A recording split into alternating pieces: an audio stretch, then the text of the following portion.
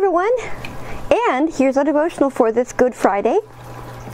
And I really like what Chris said because, you know, Good Friday really is good. You know, I used to think, what's good about it? But Chris had a really good point that Good Friday is good because of what Jesus did for us and what it means to the Christian.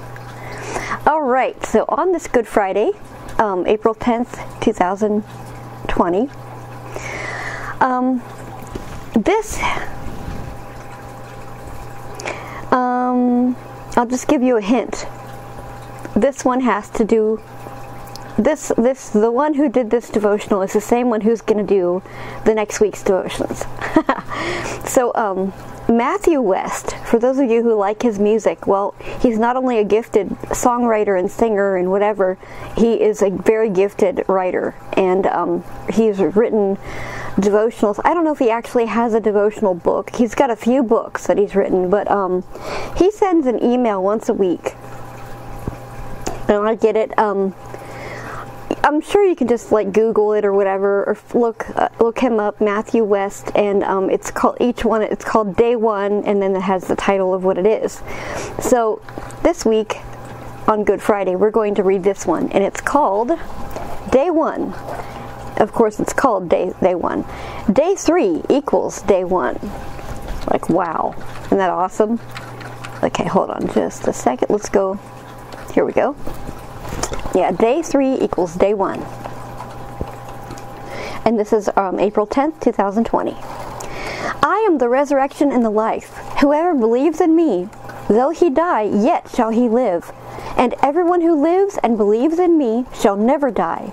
Do you believe this? John 11, 25 and 26. On day one, hearts were broken, disciples were scattered, scattered. An innocent man was beaten beyond recognition and forced to carry his own cross to his own death. On day one, evil was winning. They hurled insults at him and mocked him with a crown of thorns. On day one, he was hung on a cross between two thieves to die a slow and painful death. Day one seemed like the end as Jesus uttered, It is finished. But this was not the end of the story. This was only day one. On day three, mourning turned to rejoicing. Death was conquered. The stone was rolled away. Scripture was fulfilled. On day three, the sting of a Savior's crucifixion was replaced with a promise perfected. An empty tomb filled empty hearts. On day three, Satan's plan was thwarted as the angel proclaimed, He is risen! Day three rewrote the death sentence Jesus was given on day one. Day three is the reason we can celebrate day one every day of our lives. Today, take some time to give thanks for the death and resurrection of Jesus. He died to give you new life.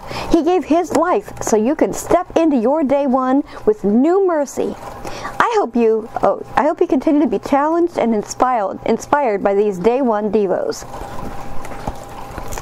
and I am. I think that they're very, very, very good. Um, wow, is that not awesome? Because yeah, I used to think, oh, Good Friday is not very good, but yes, it is because of what Jesus did. Praise God, praise God, and may the Lord bless you all and be with you till tomorrow.